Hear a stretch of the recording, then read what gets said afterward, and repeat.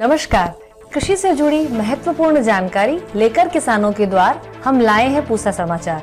पूसा समाचार के इस अंक में मैं डॉक्टर कपिला शेखावत और मैं डॉक्टर गिरिजेश सिंह मेहरा आप सभी दर्शकों का पूसा समाचार के इस अंक में हार्दिक स्वागत एवं अभिनंदन करते हैं। कपिला जी हमने किसानों को जो व्हाट्सएप नंबर दिया था उसमें किसान लगातार जानकारी हेतु अपने विषय भेज रहे हैं। बिल्कुल और उसी आधार पर आज के इस खास अंक में हम किसानों के लिए आलू की उन्नत खेती और पूसा डिकम्पोजर द्वारा धान की पराली प्रबंधन के बारे में भी जानकारी देंगे। साथ ही साथ, हम आपको स्पायरोलिना उत्पादन, सर्दियों में लगने वाली पत्तेदार सब्जियों की उन्नत किस्मों तथा मौसम की भी जानकारी देंगे। किसान भाइयों रवि फ़सलों में आलू एक महत्वपूर्ण फ़सल है, जिसकी बुआई अक्टूबर माह से शुरू हो जाती है। अच्छी उपज लेने के लिए किसान बुआई हेतु तो उन्नत किस्मों का चुनाव अवश्य करें। बिल्कुल। और न केवल उन्नत किस्में, उसके साथ जुड़ी हुई उन्नत सस्य क्रियाओं के प्रबंधन के बारे में भी उन्हें पूरी जानकारी होनी चाहिए। और इसी संबंध में और अधिक जानकारी दे रहे हैं पूसा संस्थान के विशेषज्ञ डॉक्टर दिनेश कुमार जी। किसान भाइयों और बहनों, आलू की मुख्य फ़सल की बुआई का समय शुरू हो चुका है और इस माह के अंत तक आप आलू की बुआई ज़रूर कर लें। सबसे ज़रूरी है कि आप अपने जो किस्में हैं आलू की, अच्छी किस्मों का आप चयन करें, जो उन्नशील किस्में हो, जैसे कम अवधि में पकने वाली या शीघ्र आने वाली किस्में जो 70 से 90 दिन की होती हैं, उसमें कुफरी अशोक, कुफरी चंद्रमुखी, कुफरी जवाहर, कुफरी ख्याति, कुफरी कुबेर, कुफरी सूर्य और कुफरी पुखराज इत्यादि हैं। इसके अलावा मध्यम अवधि की किस्में, जिसमें 90 से 110 दिन में फ़सल पककर तैयार हो जाती है। इसमें कुफरी अलंकार, कुफरी आनंद, कुफरी अरुण, कुफरी बहार, कुफरी चिपसोना एक, कुफरी चिपसोना दो, कुफरी चिपसोना तीन, कुफरी चिपसोना चार और कुफरी फ्राई सोना। इसके अलावा कुफरी ज्योति और कुफरी लालिमा और कुफरी पुष्कर किस्में जो मध्यम अवधि की हैं। इसके अलावा देर से पकने वाली या लंबी अवधि की किस्में हैं, जो 110 से 130 दिन में पक के तैयार होती है। इनमें कुफरी चमत्कार, कुफरी देवा कुफरी सफ़ेद और कुफरी सिंदूरी इनमें से किसी एक किस्म का आप बीज चुन सकते हैं और अपनी बुआई कर सकते हैं। इसके लिए आपको ज़रूरी होता है कि पहले अंकुरण कराएँ फ़सल का, इसमें किसी छायादार स्थान पर अपने बीज को रख लें और अगर बहुत ज़्यादा छोटे आलू हैं तो उनको काटने की ज़रूरत नहीं होती। उनकी आप सीधे बुआई कर सकते हैं। अगर मोटे आकार के आलू हैं अधिक आकार के आलू हैं तो इनको आपको छोटे छोटे टुकड़ों में काटना होगा। एक टुकड़े का वज़न आप 30 से 40 ग्राम रखें और उसमें दो से तीन आँखें होनी चाहिए।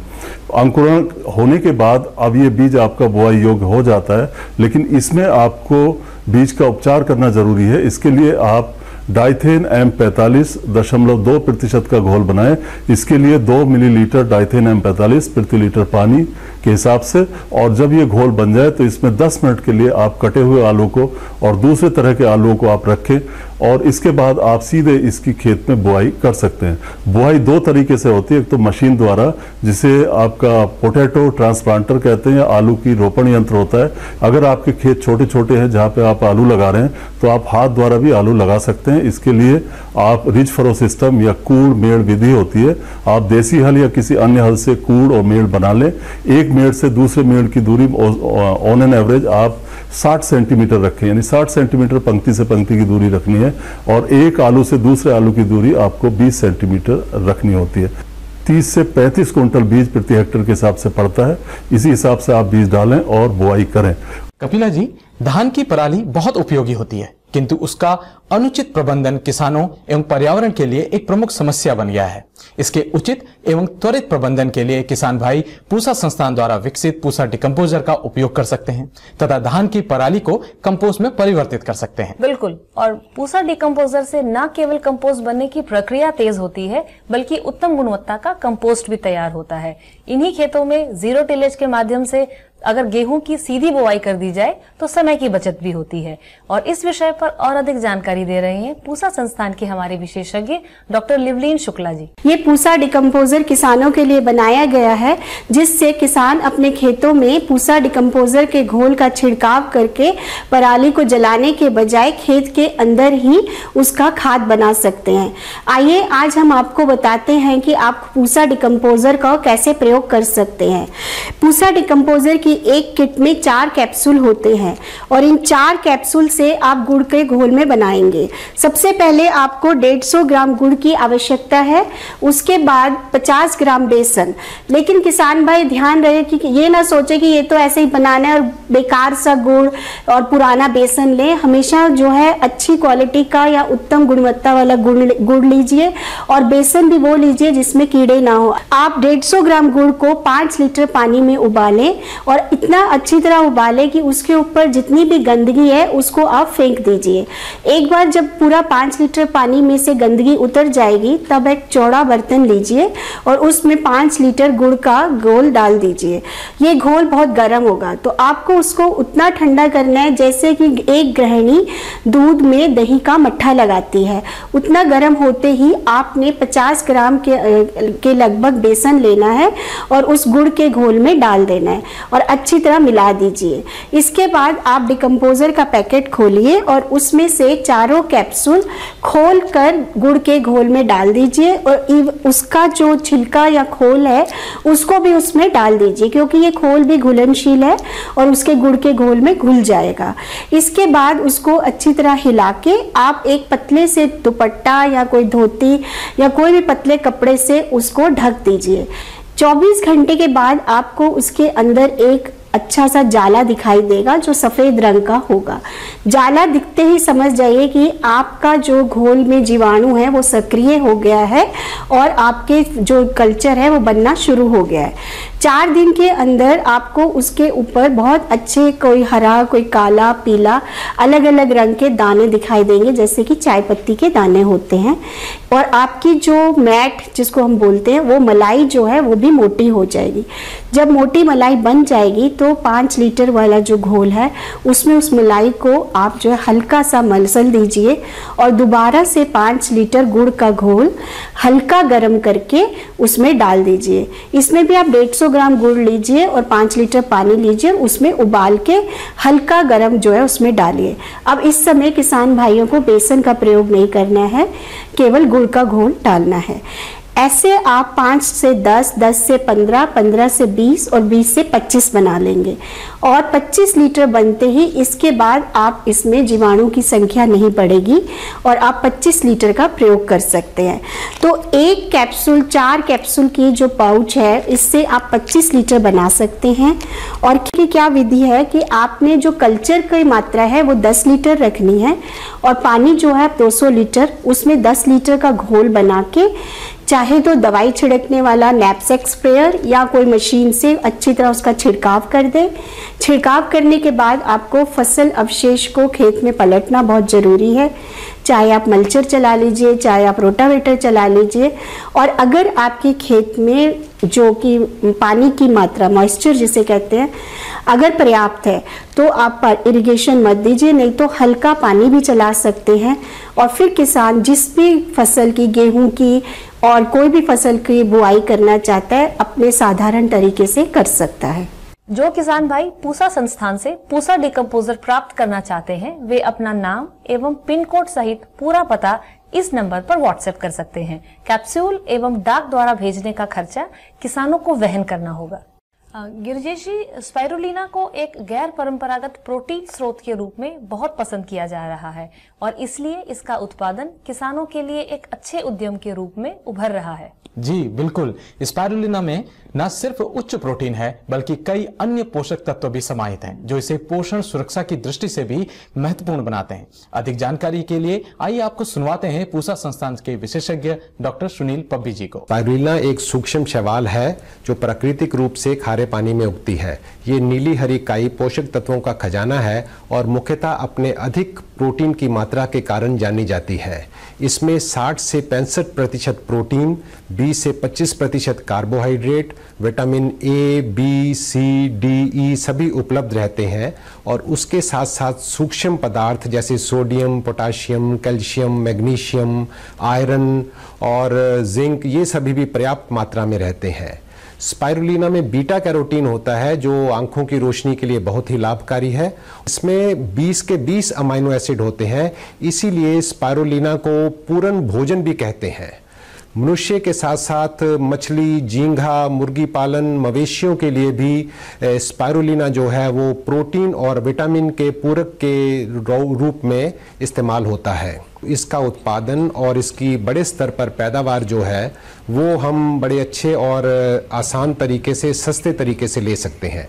उसके लिए हमें जो रसायन चाहिए होते हैं, उसमें urea, Suphala, potassium sulphate sodium bicarbonate ऐसे रसायन चाहिए जो आसानी से मिलते हैं और सस्ते में उपलब्ध हो जाते हैं। इसका उत्पादन प्लास्टिक ट्रे में और नांदों में जो टैंक होते हैं और उत्पादन इकाई जिनको हम रेसवेज कहते हैं, उनमें किया जा सकता है। और ये जो रेसवेज होते हैं, ये खुले में बनाए जाते हैं या इनको पॉली हाउस में बनाया जाता है, क्योंकि स्पायरोलिना को पैदा करने के लिए, इसके उत्पादन के लिए हमें सूर्य की रोशनी की आवश्यकता होती है और जो तापमान है वो 28 से 30 डिग्री सेल्सियस के आसपास होना चाहिए। और पानी का जो पीएच मान है वो 9 और 9.5 के बीच में रखा जाता है।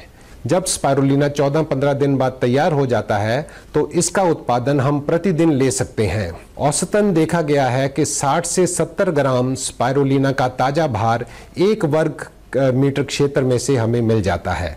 और फिर इसको हम छान कर और सुखा लेते हैं और ये पाउडर जो है, इसको हम अलग अलग प्रोडक्ट इसके बना सकते हैं।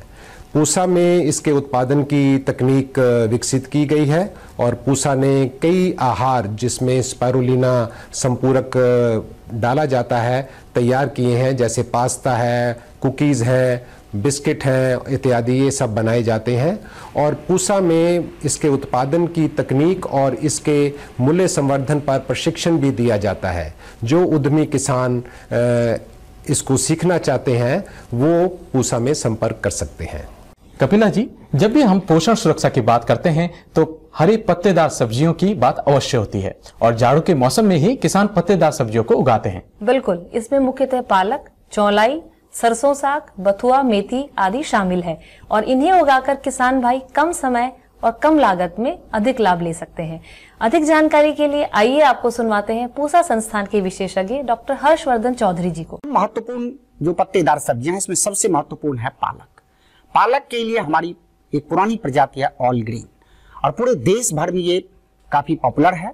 जो दूसरी प्रजाति है, वो है पूसा भारती ऑल ग्रीन जो होता है, वो गहरे हरे रंग के पत्ते होते हैं और पूसा भारती जो होता है, इसका पत्ता जो होता है, थोड़ा हल्के रंग का होता है नहीं हल्का जो हरा रंग होता है। इन पत्तों की खास बात ये होती है, इसके पत्ते काफ़ी मुलायम होते हैं और इनकी जो सब्ज़ी बनती है, वो काफ़ी अच्छी बनती है। अब हम मेथी की बात करते हैं। मेथी के लिए हमारे संस्थान की पुरानी प्रजाति है, पूसा, अर्ली बंचिंग और एक दूसरी मेथी होती है, जो कसूरी मेथी, जिसके पत्ते हम सुखा के भी, हम ड्राई रूप में भी हम लंबे समय तक उपयोग करते हैं, उसके लिए है पूसा कसूरी। बिलायती पालक जो होता है, ये पहाड़ी क्षेत्रों में उगाया जाता है। उसकी एक बहुत पुरानी प्रजाति है, वर्जीनिया से भाई और अब एक, हाल में ही एक नई प्रजाति विकसित की गई है, पूसा बिलायती पालक। उसी प्रकार इस मौसम में बथुआ की फ़सल जो होती है, वो काफ़ी महत्वपूर्ण है। बथुआ में आजकल जो कटिंग वाली बथुआ होती है, जो हमारे संस्थान की प्रजाति है, पूसा बथुआ वन, जिसमें हल्का पर्पल रंग का पत्ते पे कलर होता है। एक दूसरी प्रजाति आई है, पूसा ग्रीन के नाम से। ये बिल्कुल पत्ता इसका हरा होता है, यानी इसमें जो बैगनी रंग का कलर होता है, वो नहीं होता है। बथुआ में भी आप मल्टी कट वेराइटी है, इसकी आप चार से पाँच कटिंग तक ले सकते अगर हम इन सब्जियों की बात करें तो जो अक्टूबर का महीना है, अक्टूबर, पंद्रह अक्टूबर से पंद्रह नवंबर इनके लिए बेस्ट टाइम है, इसमें हम इनकी बिजाई कर सकते हैं। इसकी खेती आमतौर पर किसी भी प्रकार की मृदा में की जा सकती है किंतु जो बलुई दोमट मृदा है, और जिसमें ऑर्गेनिक कार्बन की मात्रा अच्छी है, वो इसके लिए सर्वोत्तम है, सबसे उपयुक्त है। हम लोग किसान भाइयों को बताते हैं कि कम से कम 25 टन प्रति हेक्टेयर के हिसाब से अगर आप गोबर की खाद अगर डालेंगे तो उसका जो जीवांश होगा, उसकी मात्रा अधिक होगी और क्विक ग्रोथ में इसको मदद मिलेगी। अगर हम बीज दर की बात करें तो आमतौर पर जो हमारा पालक है, इसके लिए करीब 20 से 25 के जो बिलायती पालक है, उसके लिए 30 के और पालक और बिलायती पालक बथुआ जो है, ये सिर्फ़ दो के प्रचुर मात्रा में है। और अगर हम सरसों साग की बात करें, सरसों साग में भी हमारी प्रजाति है पूसा सागवान। इसका हम करीब तीन किलोग्राम प्रति हेक्टेयर की दर से इसकी बीज की आवश्यकता है। जो हमारे संस्थान से भी खरीद सकते हैं नेशनल सीड कॉर्पोरेशन जो है, वो भी इसकी बीज की बिक्री करते हैं। अगर इसमें खरपतवार की समस्या का अगर आप निवारण चाहते हैं तो बिजाई करने के तुरंत बाद जो पेंडीमिथिलीन दवा है, उसका आप तीन मिलीलीटर प्रति लीटर पानी में घोल बना के उसके बाद अगर उसका छिड़काव कर देते हैं तो कम से कम तीस दिन तक खरपतवार की समस्या नहीं होगी। इसके अलावा कम से कम आठ से दस दिन के बाद उसमें हल्की सिंचाई करनी पड़ती है, जिससे कि जर्मिनेशन भी अच्छा होता है और पौधों को नमी पर्याप्त मात्रा में मिलती है। अब हम आपको मौसम से जुड़ी जानकारी देंगे। भारत मौसम विज्ञान विभाग द्वारा दिए गए वर्षा पूर्वानुमान के अनुसार अगले तीन से चार दिनों में अंडमान और निकोबार द्वीप समूह में अलग अलग स्थानों पर भारी वर्षा की संभावना है। पूर्वी राजस्थान मणिपुर मिजोरम त्रिपुरा तटीय आंध्र प्रदेश तेलंगाना रायलसीमा तमिलनाडु पौंडीचेरी और कराईकल में अलग अलग स्थानों पर बिजली गिरने की संभावना है। 18 से 19 अक्टूबर को पूर्व मध्य और समीपवर्ती पूर्वोत्तर अरब सागर में तेज हवा की गति 55 से पैंसठ किलोमीटर प्रति घंटे से 75 किलोमीटर प्रति घंटे तक पहुँच सकती है। प्रिय किसान भाइयों बहनों एवं दर्शकों आशा करते हैं पूसा समाचार का यह अंक आपको ज़रूर पसंद आया होगा। आप सब दर्शकों से निवेदन है कि अधिक से अधिक संख्या में हमारे संस्थान के चैनल को सब्सक्राइब करें और पूसा समाचार के हर अंक का लाभ उठाएँ। हमारे फेसबुक पेज और ट्विटर हैंडल को भी ज़रूर फॉलो करें। अपनी समस्याएँ या अधिक जानकारी हेतु इस नंबर पर व्हाट्सएप करें। पूसा समाचार में खेती किसानी से जुड़े कुछ अन्य महत्वपूर्ण विषयों के साथ अगले शनिवार हम फिर हाजिर होंगे। तब तक दीजिए इजाज़त। नमस्कार।